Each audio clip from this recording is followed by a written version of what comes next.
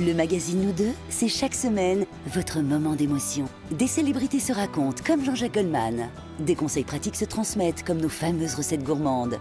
Des moments d'émotion se partagent comme nos histoires d'amour. Et aussi le livre Citron vinaigre et bicarbonate, nos meilleures astuces. Nous deux, le magazine porte-bonheur depuis 1947.